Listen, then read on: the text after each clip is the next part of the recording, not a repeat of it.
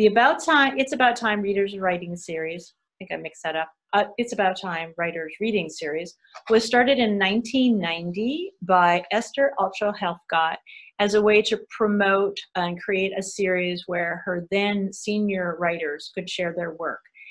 Ever since then, it has been our delight to be welcomed at various venues and librarian by librarians throughout Seattle and Greater Puget Sound and able to introduce new and experienced voices.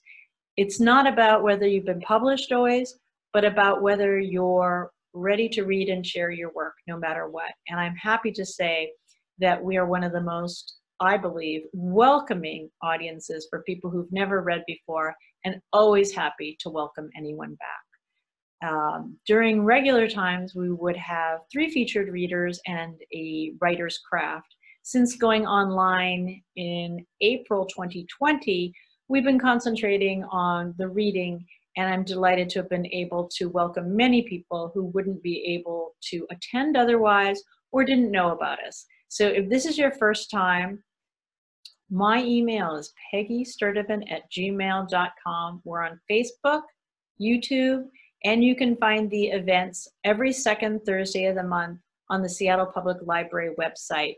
And you are always welcome to drop in, do a three minute open reading and ask to be considered for a featured reading. I'm currently, you know, booking, I believe I have an opening in December. Uh, tonight, I'm very happy to welcome the Seven Writers Northwest. Is that, I think I have that right. I move it around.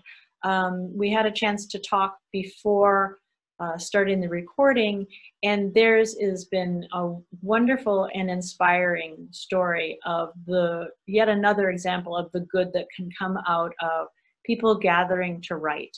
And in this case, it has so many rewards that are benefiting uh, one another, us, the readers, and also a local nonprofit.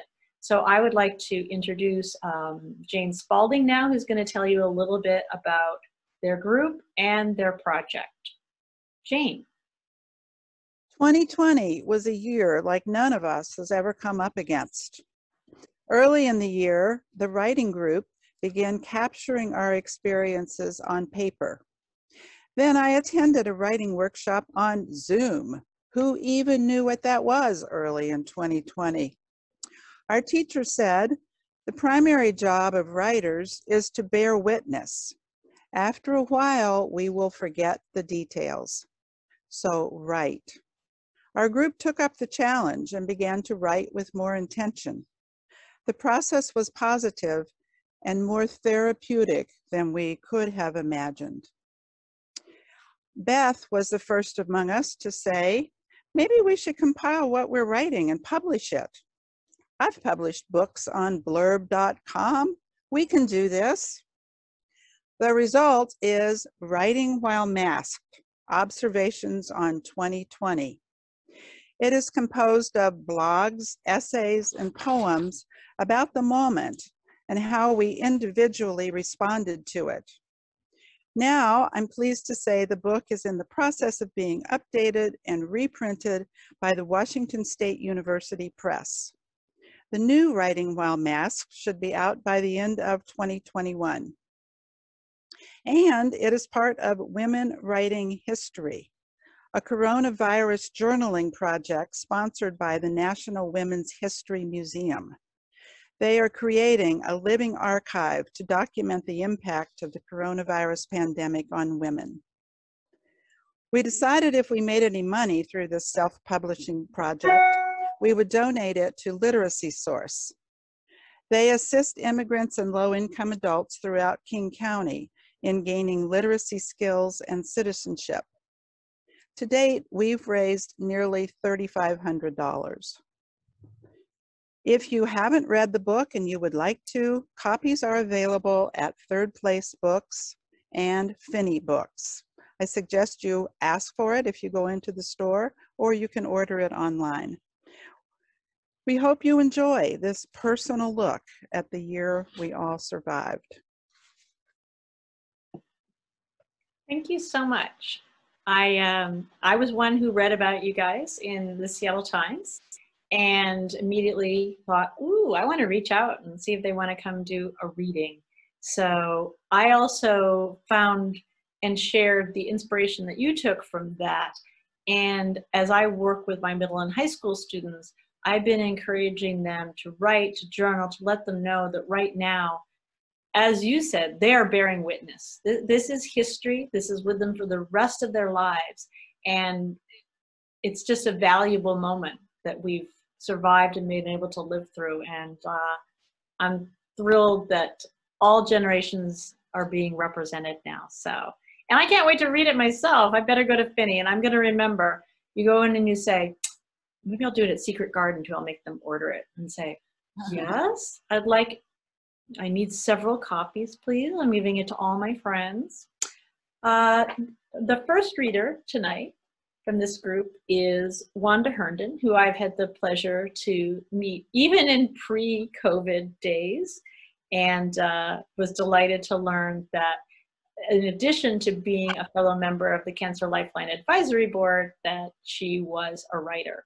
So she was senior uh, Starbucks senior vice president of the global communications, or Starbucks senior vice president global communications she founded her current business, W Communications, after she retired in 2006. In 2008, she returned to Starbucks for one year to help restore Starbucks' growth trajectory. Wanda held DuPont and Dow chemical leadership positions from 1978 to 1995. She was a minority owner of Seattle's professional basketball teams from 2001 to 2006, and she co produced Tony Award winning Broadway musicals Memphis and my personal favorite, Come From Away. Welcome, Wanda. Thank you so much. Um, I'm honored to read my poem. I cry. Home alone, I cry. I cry for my ancestors stolen from African homes to suffer the injustice of slavery in America.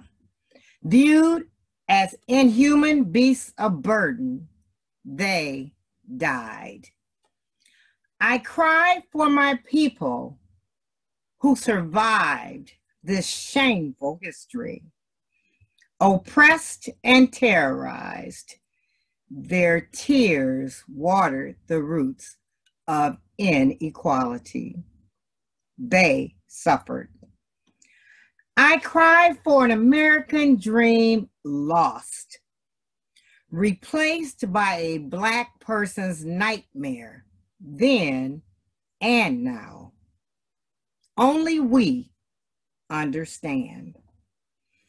I cry for members of my race callously slain by evil Ku Klux Klan, vigilantes, neighbors, and the law. Thousands still die. I cry about poverty and destitution engulfing our communities. Unbreakable cycles of despair begun so long ago on slave ships, plantations. Few escape. I cry, incensed by the murder of yet another Black person. Knee on neck, asleep in bed, jogging in their neighborhood. America is our country too. I cry because we are not welcome. We are tolerated by those who say, it wasn't me, a perk of white privilege. I cry because our sacrifices for America are unrecognized and our deficiencies emphasized. Equality eludes us. I cry because our ancestors died for my chance. Decades later, hate still festers and threatens our souls. The pain is too much. I cry for justice. I cry. Thank you. Thank you, Wanda. I wish that was less true than when I first read it last July. Oh, very powerful. Thank you. Uh, the next reading from this uh, group of seven is from Beth Weir. Beth is a native of New Zealand, but has lived in the US since 1976. She is retired twice, once as a college professor from Raleigh, North Carolina, and again as the director of Dunn Gardens in Seattle. She started writing seriously after her first retirement. I'll have to talk about Dunn Gardens. Wonder if you know my friend Anne Ormsby. Welcome, Beth. All right, mine's called Suspension of the Moment and was written in May 20. In a news clip, I heard Arundhati Roy, the Indian writer of melodious novels, describe this time of the virus as one of suspension. In other words, the past is stalled, the future is uncertain, and the time in between, the right now, is still and quiet and allows for contemplation. In a sense, the present is not going anywhere and the past cannot inform it. Her insight sheds light on, on why Roy is a Man Booker Prize winner. I feel her characterization of the moment in my being during the daily mental health walks I take with Jack, our three year old terrier. To get our wrinkles out, we sometimes go to a place where the relationship between the walk and the sniffing opportunities are high. That would be the small local dog park. Sometimes we walk where I prefer to go. That would be my neighborhood or the Burke Gilman Trail three blocks from my home. What is true of these suspended times when there is little traffic is that the daily walks are placid. As such, it encourages the enjoyment of the spontaneous street theatre encountered. In normal times, the small dramas may have remained unnoticed. The warm spring day I was wearing a floppy red sun hat comes to mind. I was visited by a hummingbird, bent on sipping from it and confused when he could not.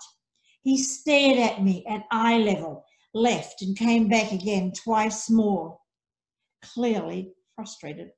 I had never been chastised by a hummingbird before and can now attest it is a possibility.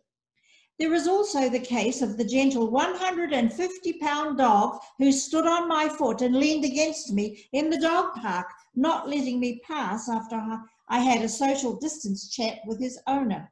The animal was a herder by nature and thought I now belonged in his pack.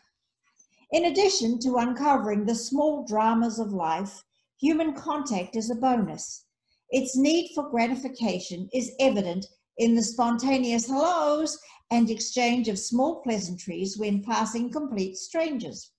Likewise, people who walk by when I am gardening in the front yard will often stop and ask me, What am I doing? I would guess few really are interested in the fact I have a lion's head maple tree. That is not the point. Such actions help satisfy our needs for human interaction, but they are also a tease like a movie trailer. At each walk, you get a glimpse of human contact with the caution that the full Monty won't be yours for a while yet. But every so often, you get to have a substantial treat as part of the modest walking regime. Almost the whole movie. That happened last week when I stepped into a street I don't usually include in my rounds.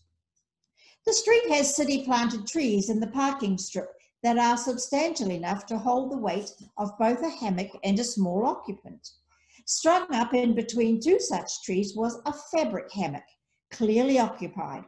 The user was buried deep in the folds and covered over by the edge of the fabric. I followed my custom of pointing out things to Jack by saying that someone had found a good hiding place. Then a head popped up into the open. It belonged to a boy of about eight with apple red cheeks. He was clutching a book in one hand by the author, Rick Riordan. As a former reading teacher, I was ecstatic to see a child reading, period, and more pleased, and more than pleased by the complexity of the text. Oh, I said, what are you reading? It is impossible for me to do likewise. The, otherwise, the child grinned. Greek myths. Lovely, I told him, and meant it. Are they good? He nodded before sliding back to his own world, both within and without the hammock. That little adventure counted as the whole film, the whole Monty in these suspended times. Thank you. Thank you, Beth. It's delightful. uh, let's see here. Moving on to our next of our seven writers, Laura C. Lippman. She is a retired family physician Raised and educated in New Jersey and Pennsylvania, residency training brought her to Seattle, where seduced by the mountains and the sea, she's lived with her husband ever since. Her son and daughter and their children live nearby. And I notice another a theme emerging in some of these bios. She started writing in earnest after retirement. Welcome, Laura. This was written um, later in the year. You'll you'll hear why.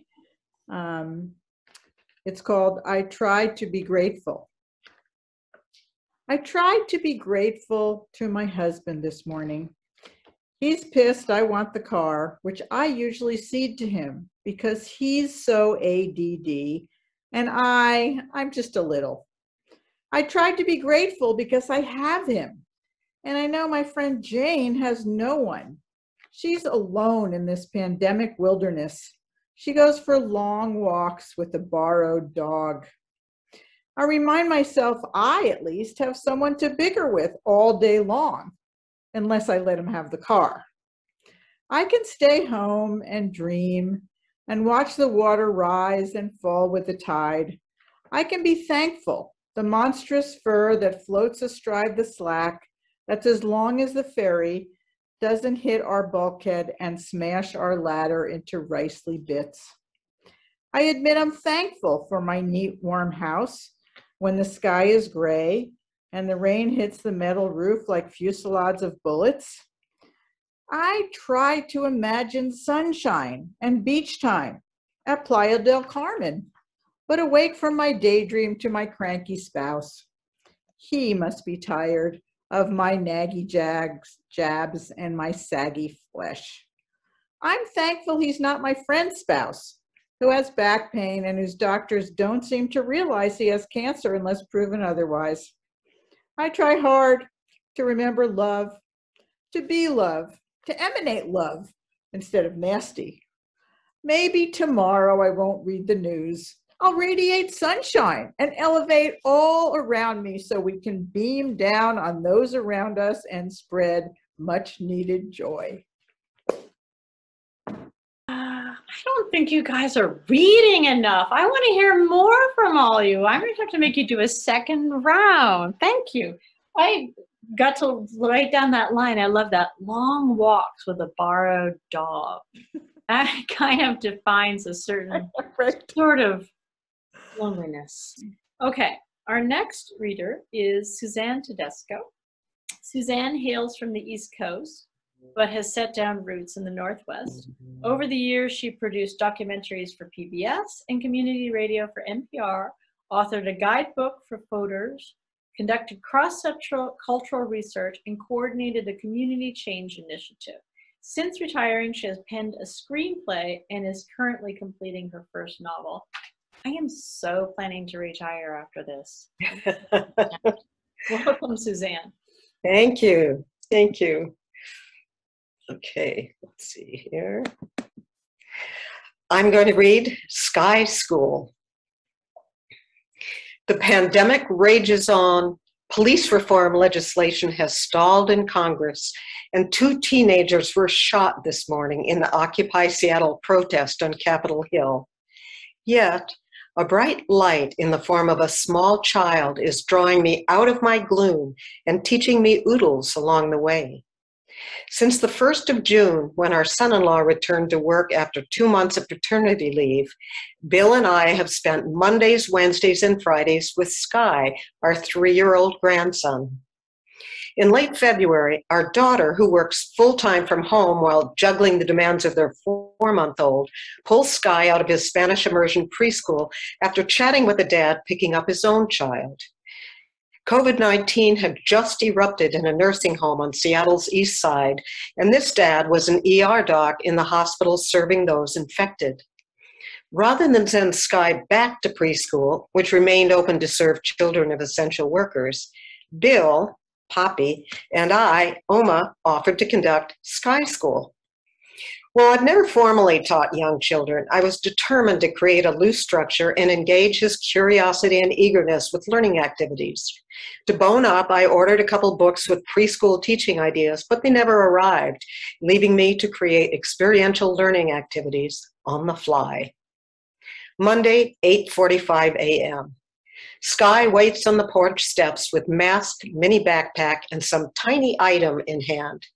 Each day begins with outdoor exploration in our West Seattle neighborhood. With playgrounds now closed, we walk in the forest, on the beach, or along residential streets, noting giant trees, dead end signs, and fairy gardens as guideposts. Sometimes we snake through trails at Camp Long on foot, or I sprint to keep up as Sky rides his strider toward a favored destination, the climbing wall, where he sets down the strider to clamber up the steep stone rise. Sky loves flowers. Now, on our walks, he remembers both the names of flowers we taught him over a year ago Poppy, look at that foxglove, and factoids I may have forgotten. Don't touch those, Oma, he points to a euphorbia. They have poison in them. Ever since infancy, Sky has seemingly needed to hold something in his hand at all times, even at night as he's tucked into bed.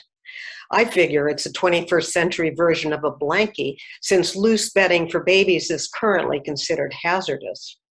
Now that he's older, he'll agree to put the object in his pocket if he needs to use both hands. On a recent walk one sparkly Lincoln Park morning, the object he carried was a tiny mirror. Bill showed him how to catch a ray of light and shine it as a signal. For the rest of the walk, Sky practiced illuminating patches of ground or shooting beams into the canopy of trees. On a similarly bright morning, we noticed that tiny daisy like posies have opened where morning sun breaks through, while those in shade still curl up in sleep. Oftentimes, something we encounter on our walk will suggest an art or craft activity for later in the day. The wing like seed pods from under the big leaf maple, samaras, Sky teaches me the word, would make wonderful wings for little creatures. We add forked sticks, peeled strips of bark, cedar berries, and clumps of moss to the collection container that I always carry with me now. That afternoon, we made tiny fairy dolls. When we get back to our house, I ask him to choose a letter of the day. B, I want B, he says. Okay, B it is. As Bill prepares lunch, I scurry around to gather small objects from around the house a ball, a bat, a bowl and a bottle, a book, a bird, a basket and a bucket, a banana and a bear for a scavenger hunt. I make a list numbering the items 1 through 10 with the word and a crude drawing for each, hide them in the front yard, and set him loose. Once, after a spate of rain and wind, we deadhead blooms from the red geranium on our porch and notice our hands are purple. Wondering what other blossoms might make natural dyes, we set off through the neighborhood to gather moist down petals purple rhodies, more geraniums, buttercups, and dandelions, cornflowers, roses, and lithodora. Back at our art table, Sky smushes them one by one onto watercolor paper to make an abstract painting for his mom. After lunch, it's time for a story. In Frog and Toad, the friends make a list and then cross off each completed task. Like Frog and Toad, Sky and I make a list of what we've done so far, and Sky crosses each off. Then I add to the list take a nap, play, have a snack, tend the garden, go home, have dinner, go to bed. When he wakes up, he grabs a pencil and strikes, take a nap. Afternoon playtime. After building a tower, then knocking down a dozen plastic cups in staggered rows for an improvised round of bowling, Sky finds in the toy bin a tiny metal disc from a small truck. What's this? he asks. A hubcap. We talk about hubcaps, how some cars have all four, others not, but they're not essential for the wheels to work. We go outside to check our cars for missing hubcaps, but now he's obsessed. He needs to check each car on the next three blocks, all four wheels, for missing hubcaps. Our walk turns into a hubcap identification and counting exercise. Now I can describe a variety of wheel coverings for Subarus, Hondas, and Jettas. Who knows? Maybe when my preschool teaching days are over, I can become a car mechanic. Thank you. I want everybody to keep going. I want more Sky School. we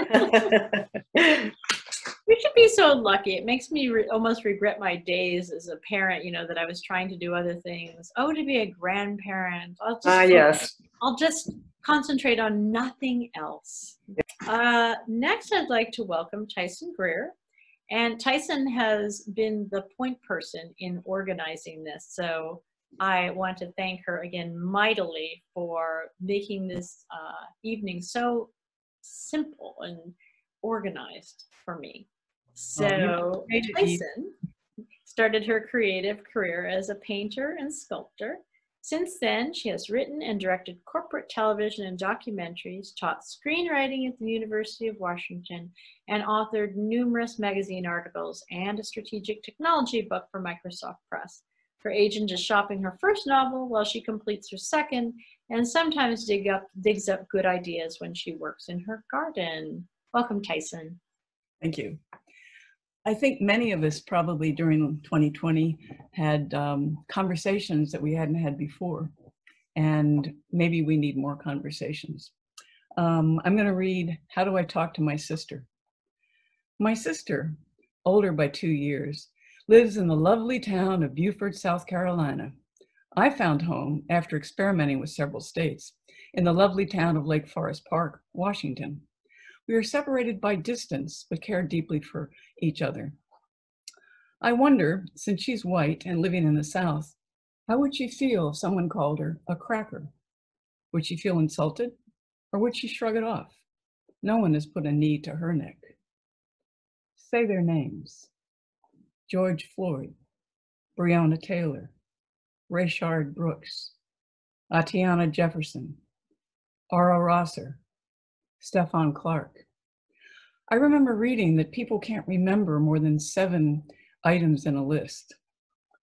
Botham Jean, Philando Castile, Alton Sterling, Michelle Cusseaux, Freddie Gray.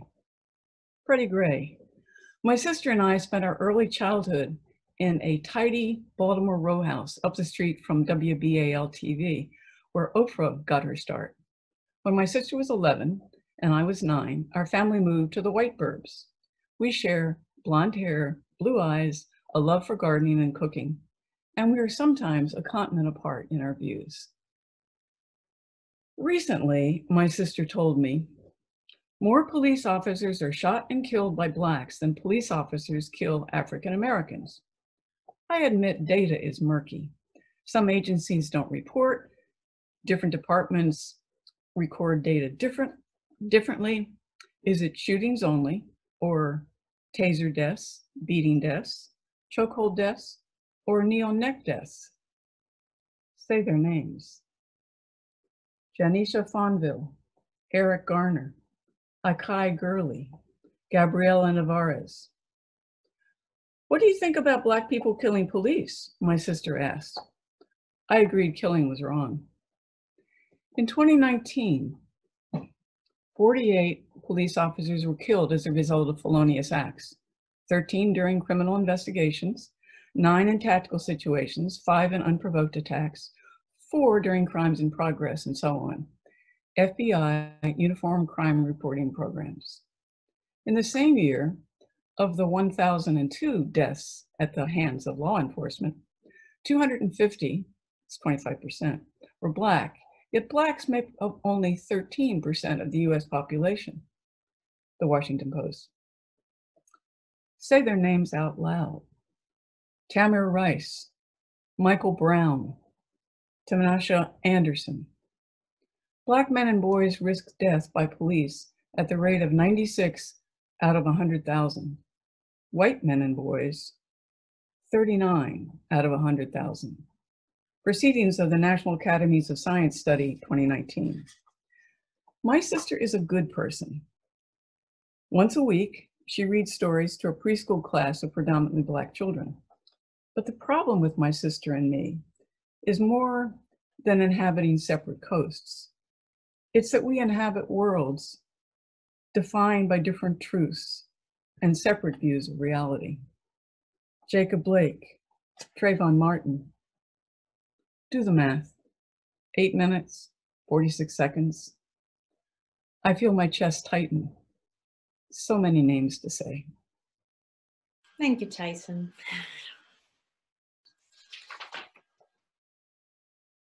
Uh, let's see. It's always hard for me because I'm I'm a a listener who has to respond and yet carry on. So a moment of silence isn't at all inappropriate here for all the names that we've heard and haven't heard.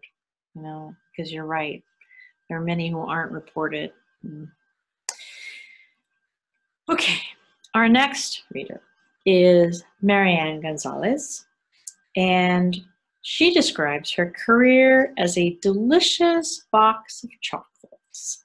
While my five children finished high school, I completed my psychology degree. I was lucky enough to work and volunteer in nonprofit organizations, always in the areas of education, physical, and emotional health. Ah, sounds like your description of a box of chocolates. I can't wait to hear more. Mary Ann, Mary, Marianne, welcome. Thank you very much. This was written in March 26, 2020. It was COVID. It was COVID that sent me into lockdown. It was COVID that provided a way to survive. My daughter Casey started me down this path. She brought me a pattern for a mask. She said her neighbor, a nurse, did not have enough N95 masks in the hospital. They were wearing cloth masks on top to lengthen the time they could wear their N95s. Casey brought me material and I had elastic. Soon we had two hospitals for whom we were sewing masks to supplement the official supply.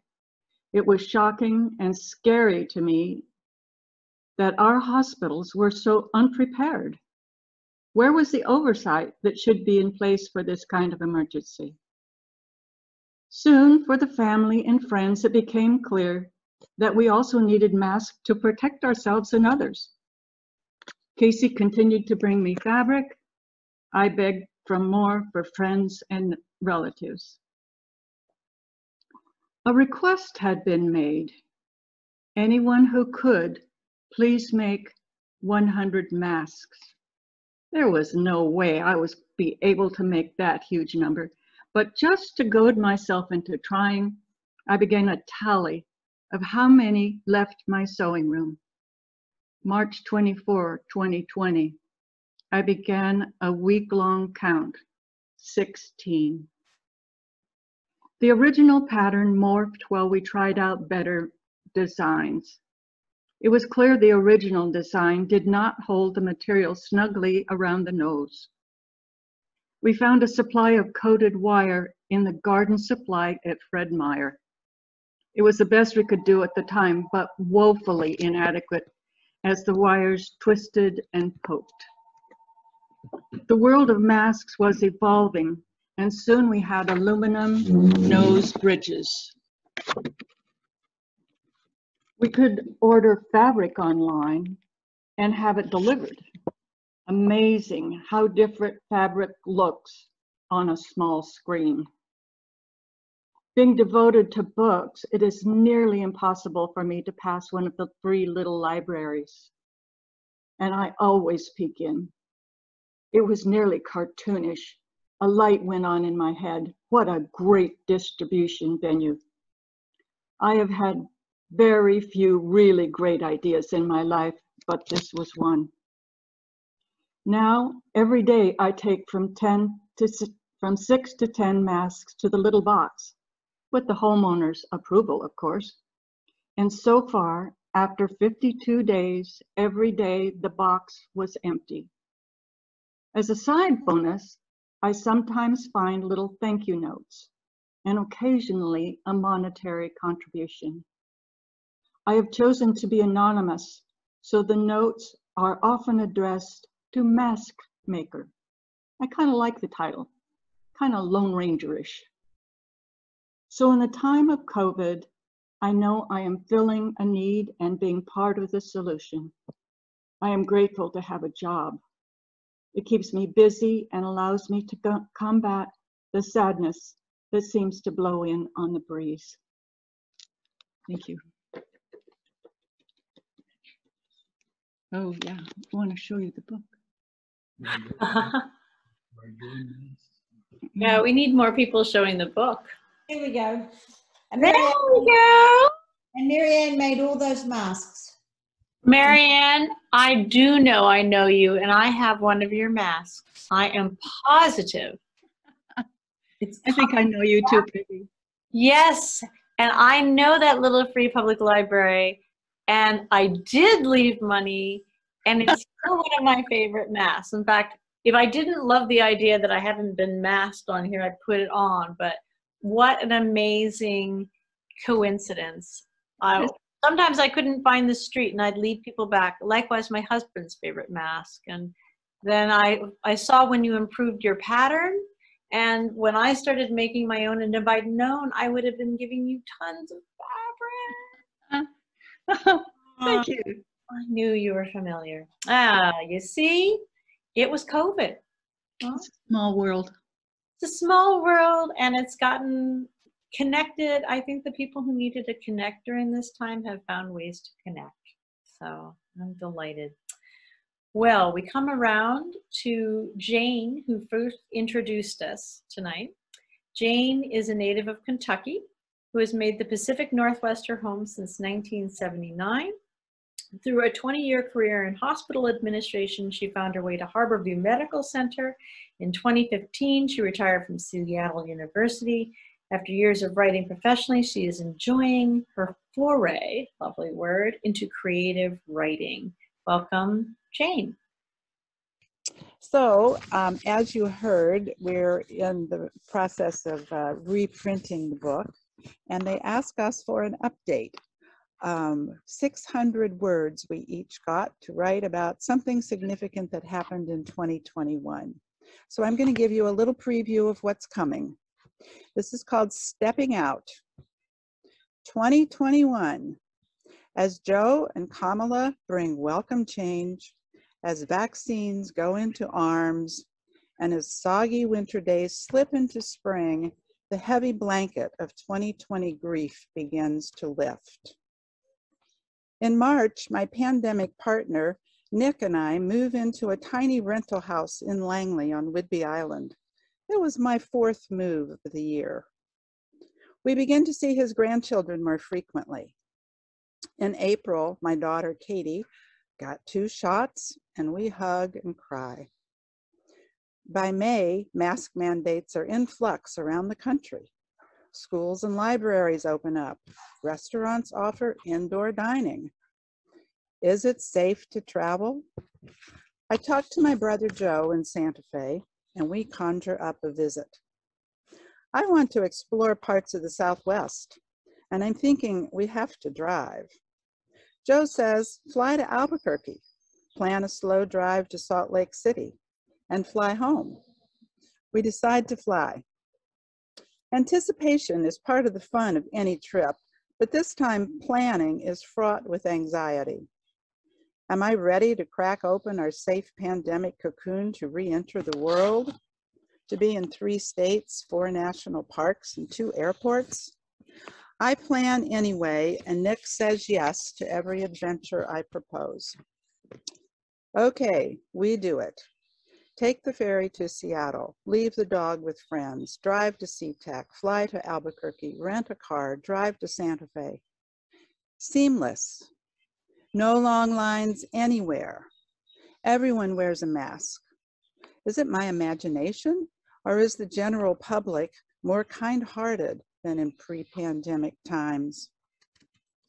Now, back home in Langley, we relive our adventure through Nick's 2,000 photographs and the memories. Dining outdoors in Santa Fe's trademark restaurants. Cliff dwellings of the ancestral Pueblo society with their architectural brilliance and focus on community. Days of deep blue sky with pasted on clouds. Miles and miles of rocks whose shapes and colors reflect eons of erosion into arches, canyons, and otherworldly formations. So much magnificence, so different from Pacific Northwest splendor. The highlight of the experience is people.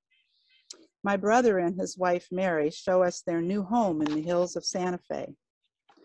We visit my dear friend Louise, who lost her husband John last year, and Posey, whose husband's health is declining while she prepares to host a son's wedding at their home with the bride's family who refuses to be vaccinated. They all remind me of the importance of showing up and of hugs. No number of Zoom experiences can substitute for hugs. These are the people I know. Casual interactions with new people are richer after a shelter in place year. The woman taking a selfie in front of art, an arch of antlers at the entrance of Georgia O'Keeffe's Ghost Ranch. Nick takes her photograph and she exudes her love for the artist's work. Seven women have lunch at the Abiquiu Inn in New Mexico and plan a group painting exhibit. They remind me of the seven of us in this beloved writing group. I remember a man doing a downward facing dog in the early morning on a rock in Arches National Park. The woman from Chicago who we encounter throughout our day at Canyonlands and her contagious joy at being there. The family from Michigan who share their picnic table with us as they explore Utah with five children, ages one to 10. The climax is a young man who runs a thousand feet up to the top of a massive red boulder near the iconic Delicate Arch in Arches National Park.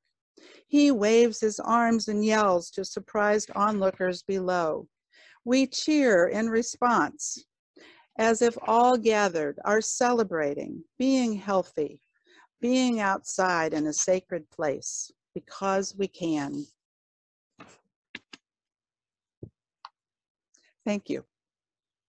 Well, thank you all for stepping out with us tonight. So I hope everyone who's joined us um, since the very beginning of this reading tonight is aware that this book is going to be, there's going to be a new edition and that you should go to any and all bookstores because many will special order it for you in addition to the ones where it's carried and that they've already raised $3,500 for uh, literacy because of the sales of this writing while masked. So uh, unless anyone would like to do, if there's anything else you wish you would still like to read, I'd love to open this up to questions from the audience. I know that I want to know how you guys first came together to write.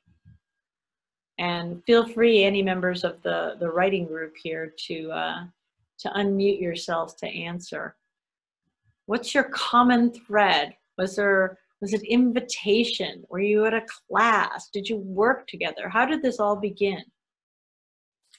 I think it sort of began with uh, in twos and twos, where uh, I think Beth and Mary Ann were in a class together, and Laura and I had been had taken some classes together, and uh, around the same time talked about and Laura knew Beth, and we all talked about, well, maybe we ought to get a writing group together.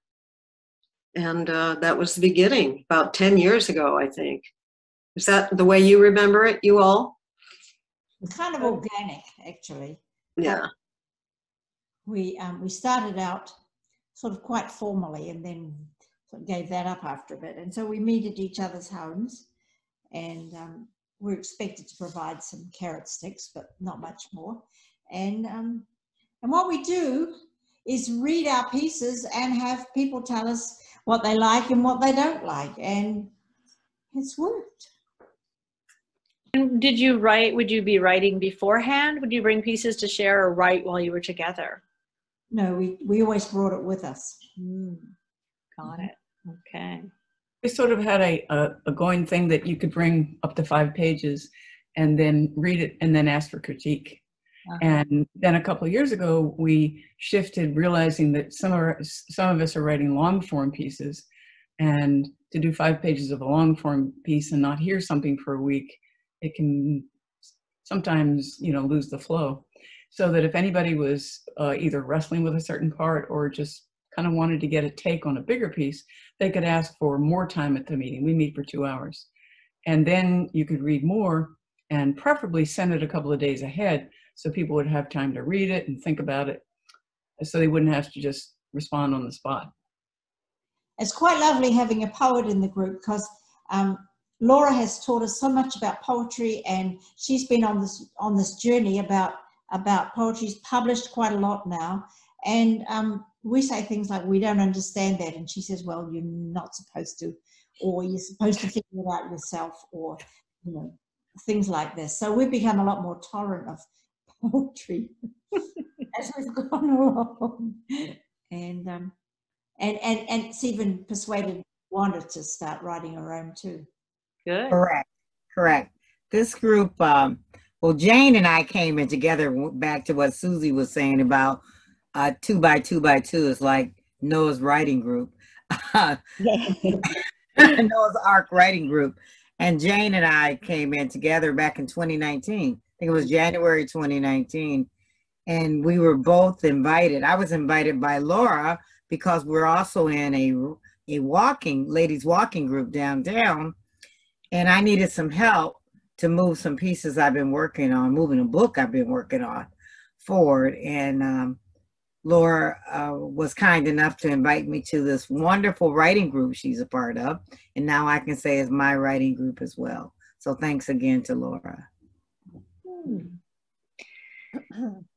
Collectives are wonderful things. I think, you know, something I believe in is that writers, the, the myth of writing alone, please, you know, don't hmm. go there. Writers need other writers. Just to, whether it's a writing partner as a walking partner or a support group or just somebody who knows and cares that you're there.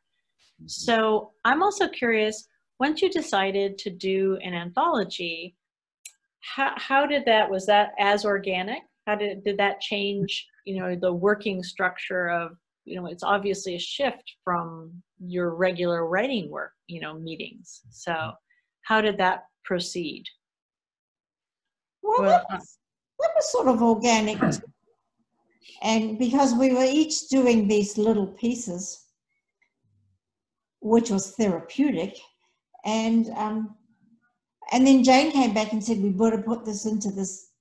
You know, we, we, we- should be doing this. We are doing it. We need to keep doing it. We need to keep doing it better. And then suddenly it just sort of seemed to make sense to put it into a book.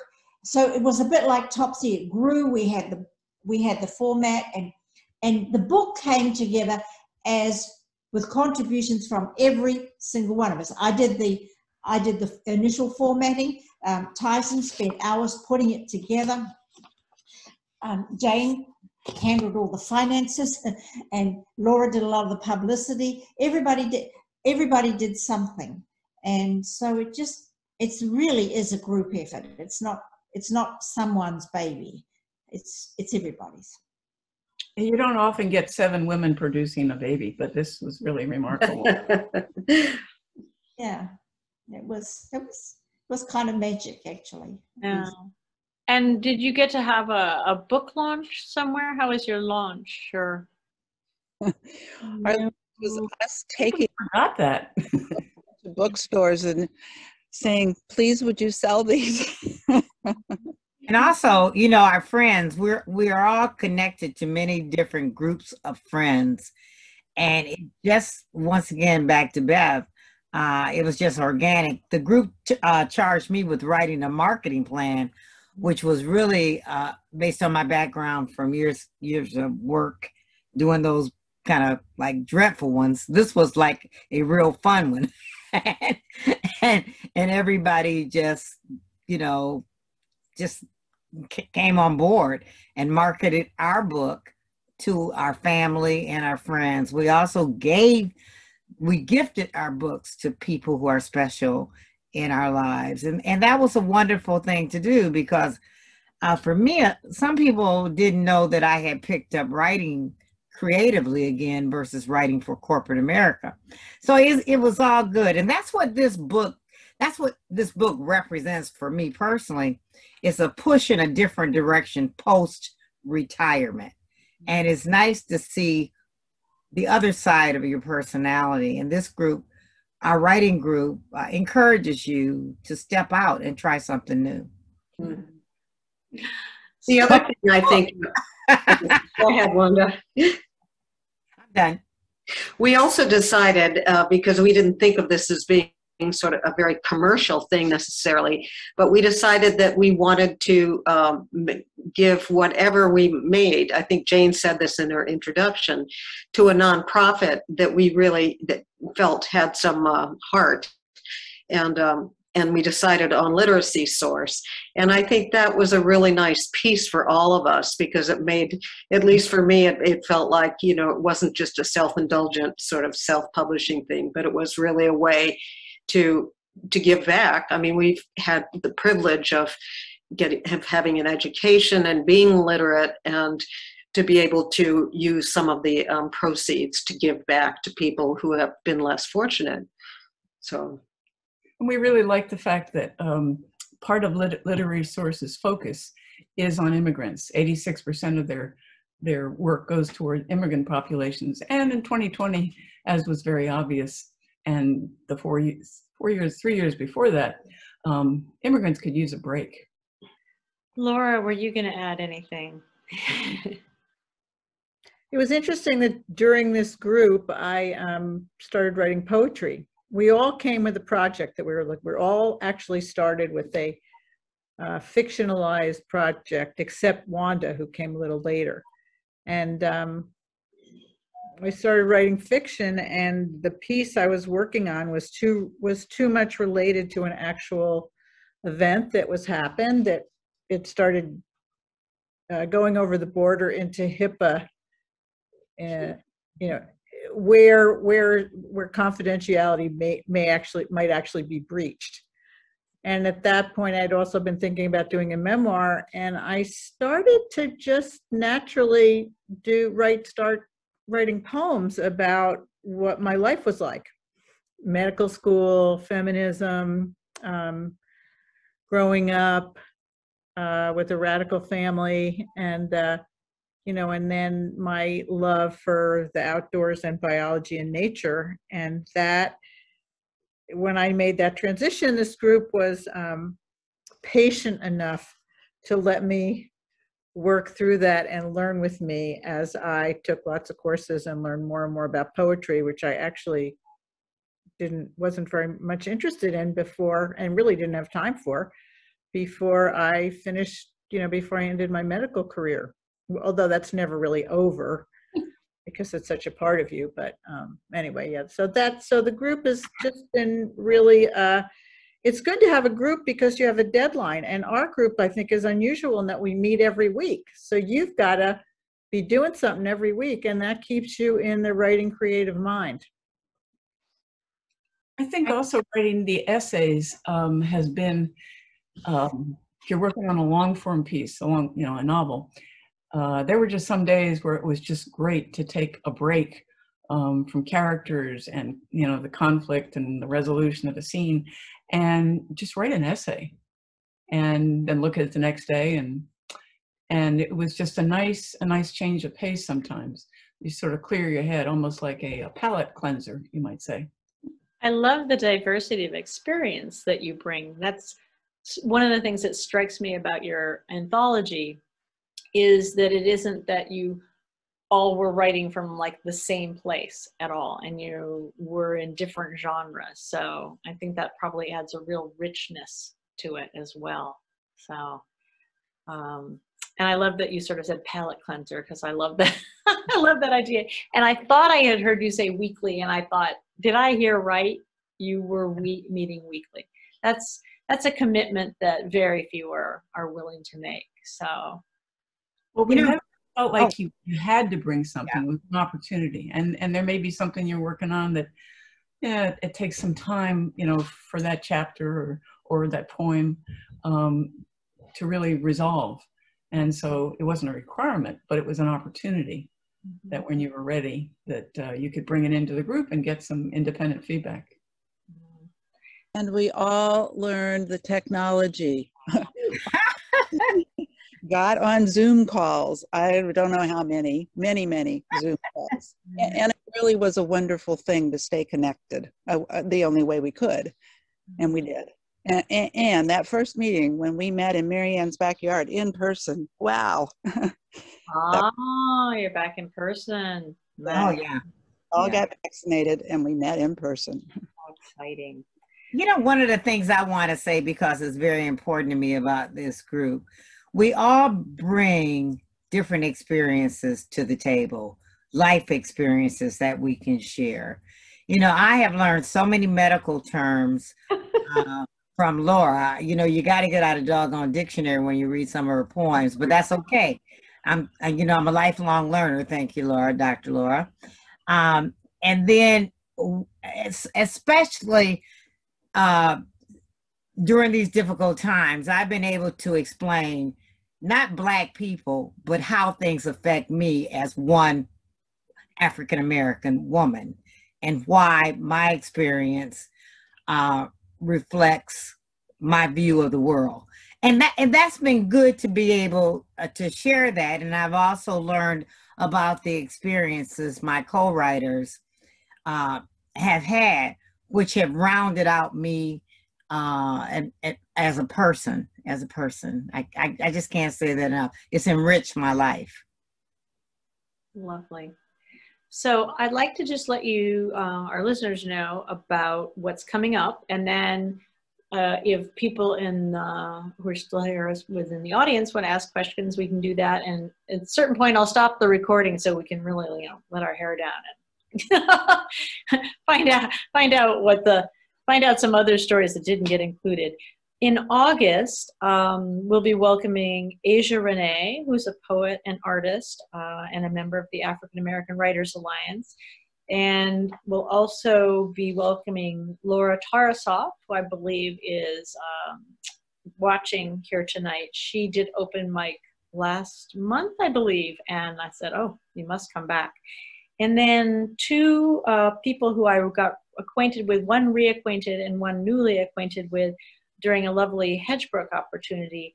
Uh, I know some of you are familiar with Hedgebrook, and when they reopened after their COVID hiatus, they opened uh, for local writers through a, different arrangement, sort of a pay-as-you-go. I could never, I was never accepted to Hedgebrook, except as a paying member, and it was absolutely wonderful. So I got reacquainted there with Marjorie Osterhout, who's doing a wonderful Today in Salem, uh, as though kind of a you are there back in Salem, Massachusetts during the witch trials, and a young woman named Marlena Williams, who is doing a fascinating project. Um, uh, spoiler alert, it kind of has to do with that movie, The Exorcist, and her mother. It's a memoir.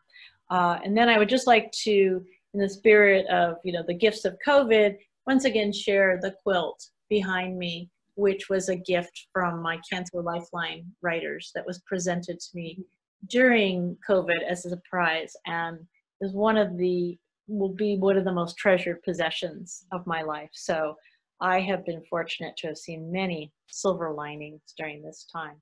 So I'm now going to end the recording. I want to invite all of you to come back and read another time. If you're first time members, just mark your calendar. I've even made it on Zoom so that you can just pre-register for all the next, you know, readings.